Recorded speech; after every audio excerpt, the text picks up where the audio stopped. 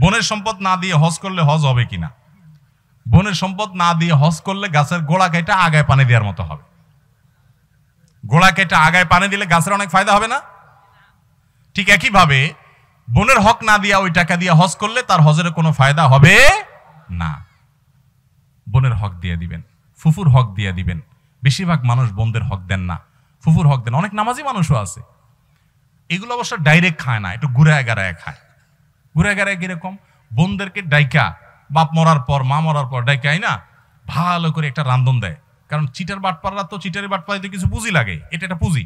ভালো করে একটা খাওন দাওন দেয়, বাগিনাদের আয়না, ভগ্নিপতির আয়না, ভগ্নিপতির দুইটা লুঙ্গি চকচকা বোনরে দুইটা শাড়ির চকচকা সুন্দর, বাগিনাদেরকে হাদিয়া, তোফা দিয়া, এরপরে বলে, এখন আব্বা তো চলে গেছেন জমি জমা এগুলো তো রেখে গেছেন, তোমাদের বিয়ে সাজিতেও তো অনেক টাকা পয়সা খরচ হয়েছে এখনও তো তোমাদের ছেলে মেয়ে সামনে আসছে আল্লাহ বাসাইলে আমরা তো দেখমই আসি এখন জমি জমা এগুলোর পরে এখন তোমরা কি বলবা?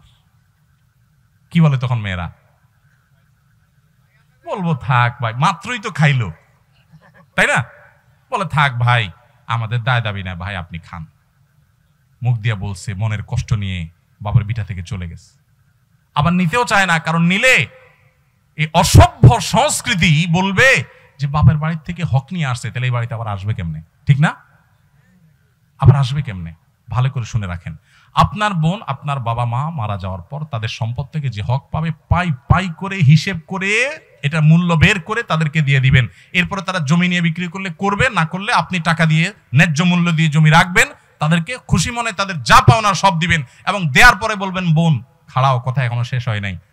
তুমি বাবার সম্পদে তোমার যা হক আছিল এটা বুঝে পাইছো। তোমারটা তুমি নিছো।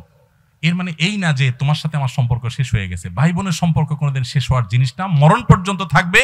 এই বিটা তুমি আসবা তোমার বিটায় আমি যাব, সারা জীবনের জন্য এটা তোমার বাড়ি, কারণ তোমার ভাইয়ের কাছে তুমি আসবা। রক্তের বন্ধন রক্ষা করা ফরজ, অতএব তুমি আসবা। সম্পদ আর হক নিয়ে গেছো দেখে সম্পর্ক থাকবে না, তা না। এরকম যদি করতে পারেন, তো আপনি মুসলমান। আর যদি সেটা না করতে না পারেন, তাহলে আপনি পয়সার গোলাম, সম্পদের গোলাম, জমির গোলাম, এগুলো কিচ্ছু সাথে নিতে পারবেন না। কিন্তু এগুলোর পাপের বোঝা আপনাকে নিয়ে জাহান্নামে যেতে হবে। অতএব সাবধান থাকব তো ইনশাল্লাহ বোনের হক দিবেন তো সবাই ইনশাল্লাহ আরে ভাই, বরকত দেওয়ার মালিক আল্লাহ। মানুষের হক মেরে ছেলে মেয়ের জন্য দিবেন ওই ছেলে মেয়ে খয়রাত করতে পারে। আর মানুষের হক ঠিক মতো দিয়ে দেন, আল্লাহর উপর তাওয়াক্কুল করেন, আল্লাহর ছেলে মেয়েকে, আপনার সন্তানদেরকে এত দেওয়া দিবেন যে আপনি কল্পনা করতে পারবেন আপনার মৃত্যুর পর আরও ভালো থাকবে, ইনশাআল্লাহ। শ্রদ্ধার সাথে চলবো তো, ইনশাআল্লাহ?